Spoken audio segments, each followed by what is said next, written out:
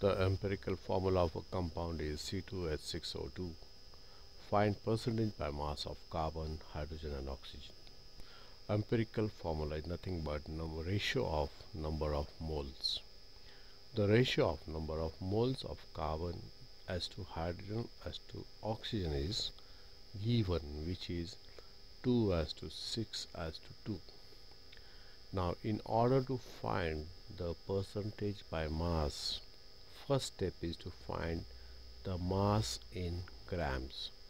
So in order to find the mass in grams we would use the formula for empirical formula problems. Mass in grams is equal to atomic mass into number of moles. So multiplying the number of moles by atomic mass atomic mass of carbon is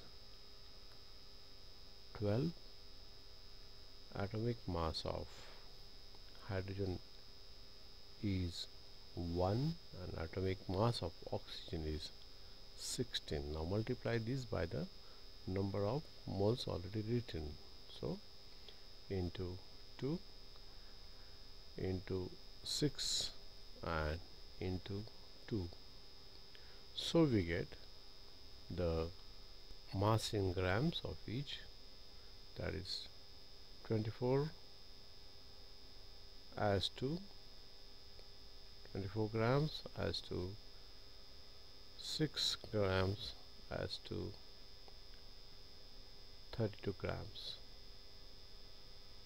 Now this is the ratio of mass in grams.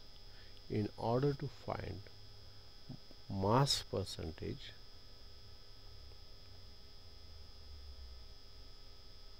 we will divide the mass of individual atom by total of the masses. That is 24 plus 6 plus 32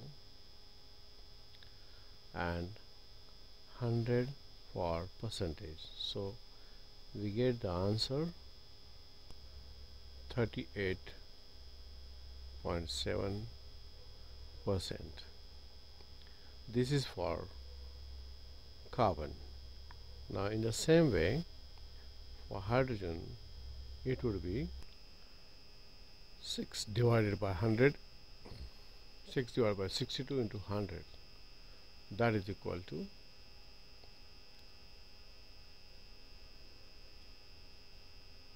nine point.